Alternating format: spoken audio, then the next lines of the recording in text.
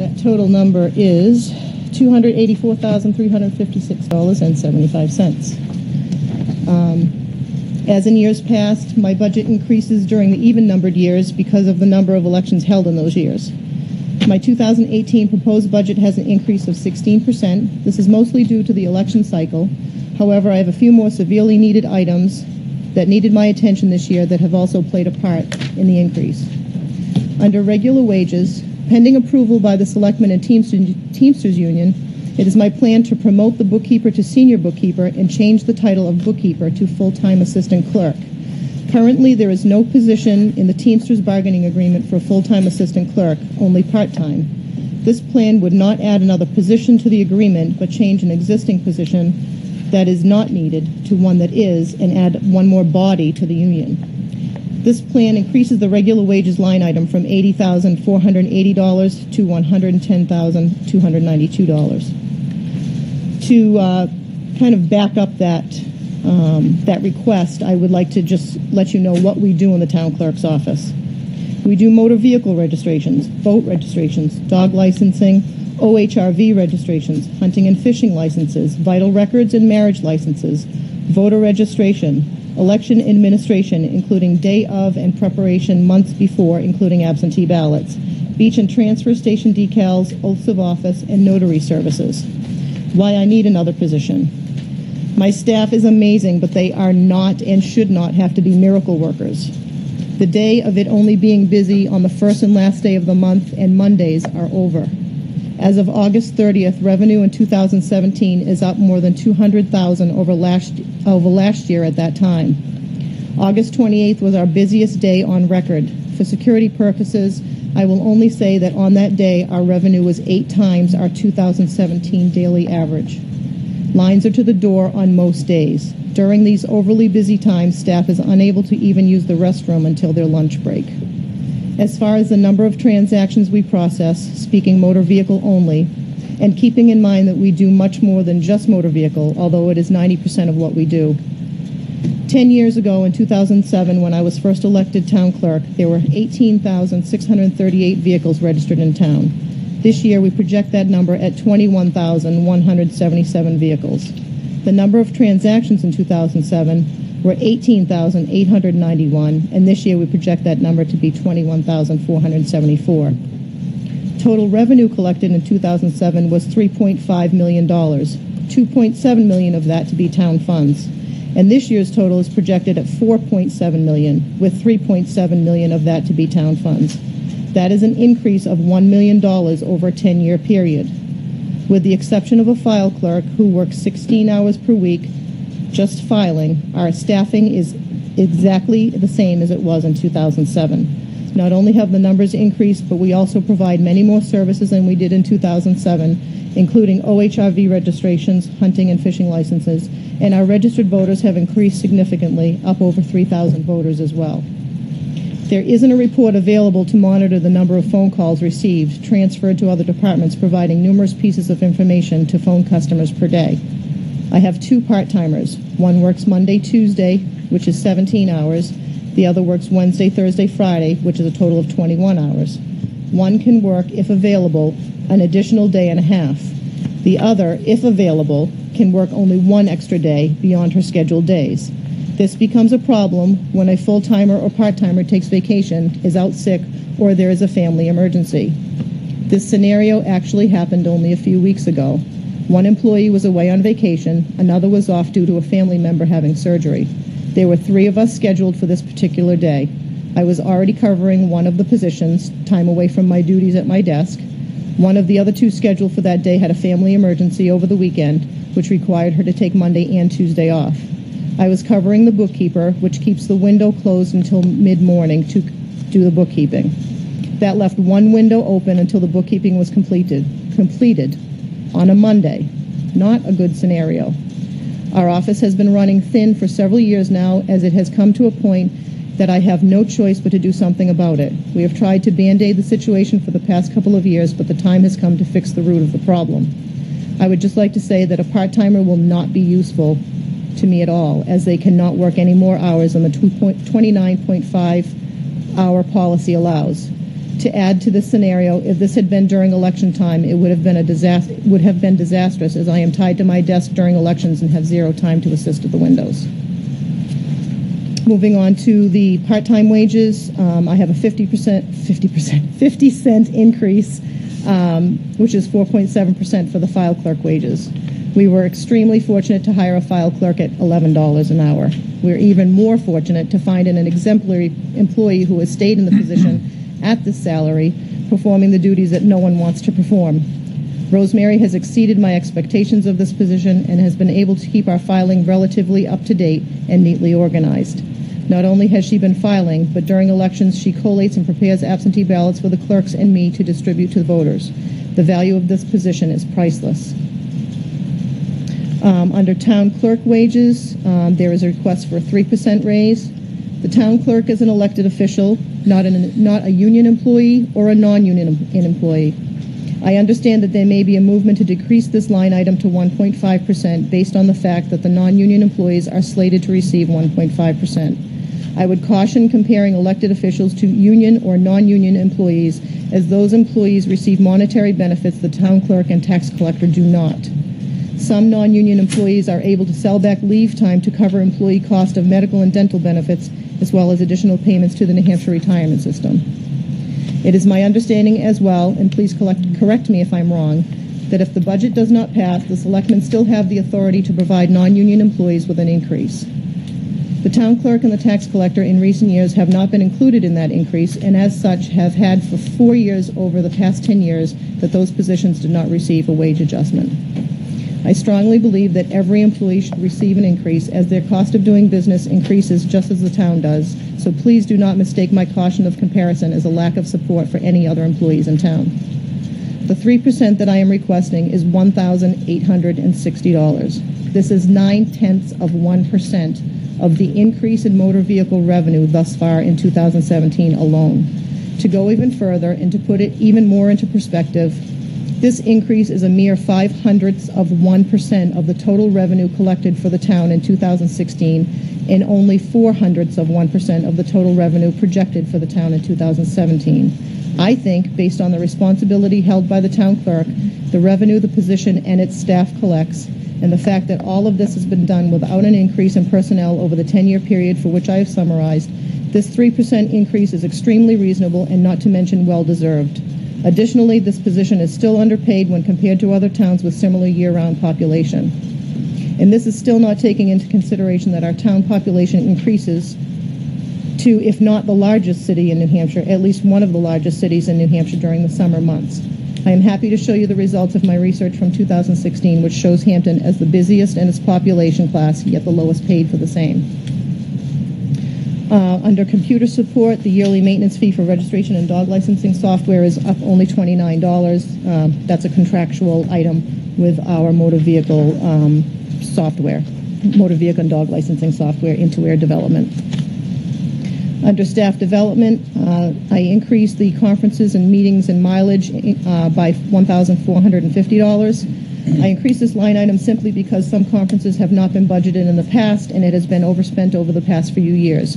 The conferences in which I attend are crucial to keeping the office running efficiently and to keep myself and my staff up to date on current laws and practices that directly affect the operations of the office, elections, motor vehicle registrations, and other facets of our duties.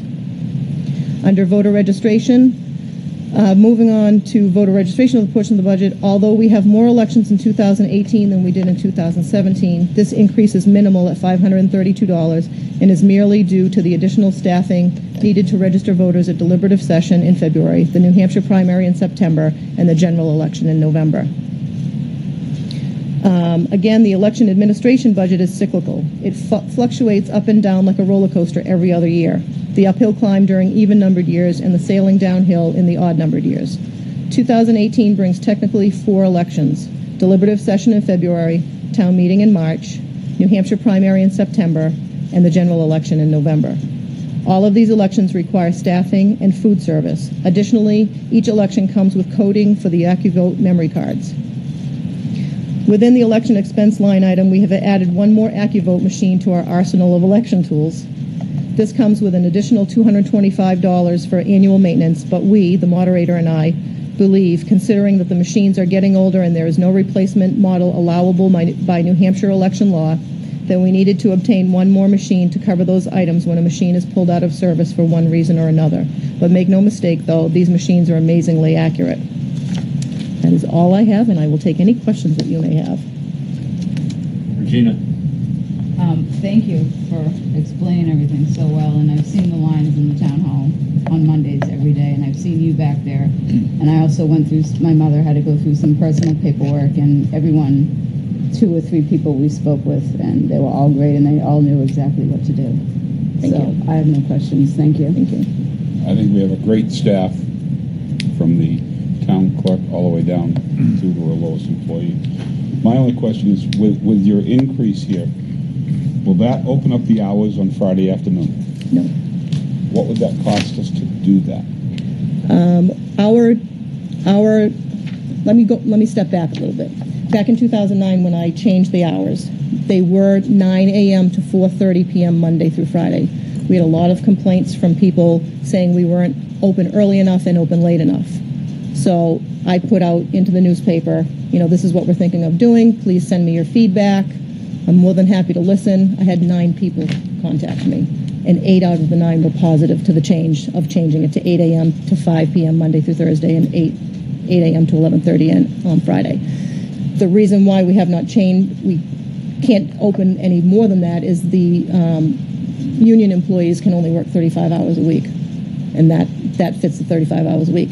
As it is, uh, I have one em- one employee on Wednesday and one on Thursday that cut back their hours. Um, it's three hours. They get out at 2:30 on on Wednesday and Thursday, one each, because their hours go over by changing the um, the hours during. We added more hours to the week, so we had to deduct from somewhere, and that's why we're closed early on Fridays because those, those hours had to come from somewhere. I'm glad you explained that, because we, you know, I, I have a number of people that ask me, especially if you come in here in the afternoon, how can they close Fridays? And, mm. and I told them that that was something that was done a number of years ago to make it better for everybody, but Right. you just explained exactly the reason why, and I appreciate that. Thank you. No questions. Mr. Griffin? So basically, you're asking for one n- new employee? Yes, one full-time assistant clerk is what I'm looking for. And you don't feel like it could be done with uh, part-time? No, the situation that we're in with, um, is it, in, what is the law that tells us we, we can only have part-timers work 29 and a half hours a week? What is that? It's retirement and, and a federal statute. Okay. So currently, as I said earlier, we have one employee that, one, I have two part-timers that work the windows. So one of them works 21 hours a week and the other one works 17 hours a week. So they, ke- like, my, my girl that works at 21 hours a week, she can only work one day. So, you know, one extra day. So if I have someone out on vacation or sick or what have you, she can only cover for me one day. And there's been many occasions where I've needed her more than that one day and I can't have her come in. Now, if I were to have another part timer, I can't, number one, I can't predict what days we're going to be busy because it's not just Mondays and the first and the last day of the month anymore. Um, part timers are hard to come by because this is a very taxing job. It takes two to three years to train someone fully in this position. People won't stay for the money that we pay for a part timer. That's two. And it's, it's, I think it's a waste of our resources to train someone only to have them leave. I had three people leave in a one-year period that were part, you know, they were part-timers. So we spent three months training them and then one left. And then we spent three months training someone else and they left. And they were really good at what they, I mean, it's not that they couldn't handle it. They, I don't know what to say about that, but I will be honest with you. I would prefer to have no one at all than another part timer because it really doesn't do what I need it to do. I need someone there the entire week to be able to cover the window. Thank you. I hope that I hope that answers your question. Reed? Thank you, thank you, um, town clerk, and, and thank you for the information. So I'm just looking at, at the details, and I'm looking at the, um, the regular wages line is up 37%. Is that correct? I haven't done the actual calculation on what the, uh, Christie, is that so correct, it- Chrissy? um, Okay. Thirty-seven point oh four. So, and, and just jumping out, and I'm, I'm not disagreeing with any need or Mm-hmm. anything like that. I'm, I, I still want to have more discovery on this, and I Mhm. understand your tempo of operations there.